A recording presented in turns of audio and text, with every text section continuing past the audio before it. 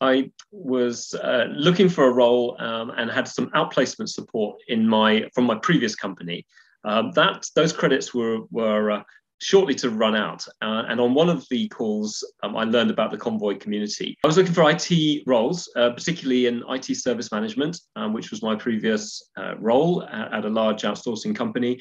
Um, and uh, the thing with IT service management is it's really applicable to every industry. So wherever there is IT supporting a business, that those uh, those skills are needed.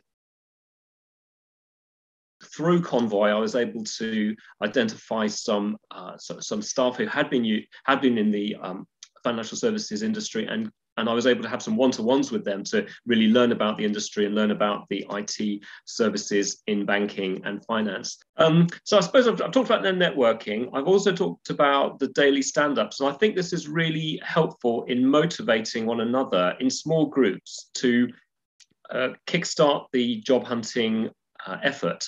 The other really helpful part was the um, advice on using LinkedIn as a platform to uh, sell oneself, essentially, you know, raise one's profile um, in the job market to tailor that uh, LinkedIn page to the, the best possible um, level. Um, I, I, would be very positive about recommending Convoy to uh, a job seeker, uh, somebody who's looking for support and advice in uh, using the tools, using the network to uh, land the best role for them.